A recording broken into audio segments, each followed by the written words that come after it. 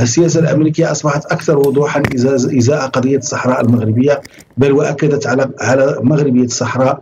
وهذا الطرح وهذا التقارب يعني اولا اهميه الوفد ثانيا التوقيت وهو مهم جدا.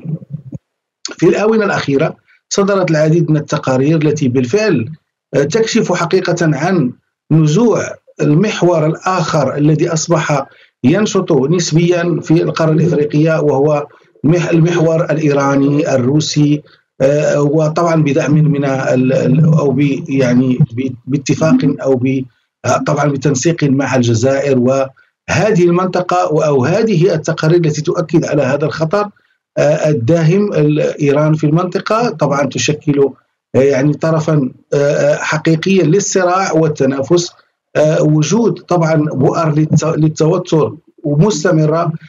تراجع فرنسا عن كونها المستعمر القديم الذي بطبيعة الحال يحتضن أو الدول الإفريقية الكبرى التي تحاول أن تخرج من العباءه الفرنسية بشكل نهائي الآن. مجموعة من الدول منطقة الساحل الغنية تحاول أن تنسل تباعا من سطوه باريس ومن سيطرة باريس التي تدبر للسياسات الداخلية ولسياسة الانقلابات داخل آه، القارة الإفريقية.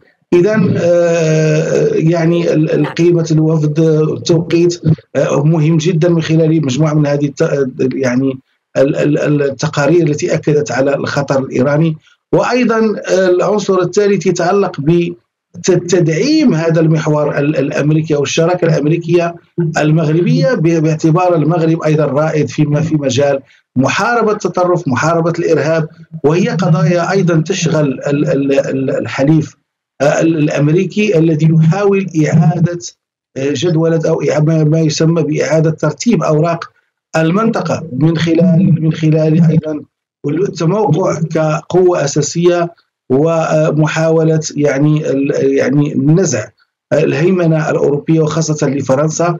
وتأكيد على هذه الشراكة من خلال الجانب الميداني والعملياتي كما جاء على لسان زميلي السي عبد الرحمن المكاوي الذي أشار بالفعل إلى هذه القوى العملياتية العسكرية. فأظن أن الجانب الصناعة العسكرية هو أيضا جانب مهم جدا يشغل بال المسؤولين أو يشغل بال الدبلوماسية المغربية وأيضا المؤسسة العسكرية بقيادة صاحب الجلالة الملك محمد السادس الذي يسعى إلى فعليا إلى أن يكون المغرب قطب عسكري صناعي.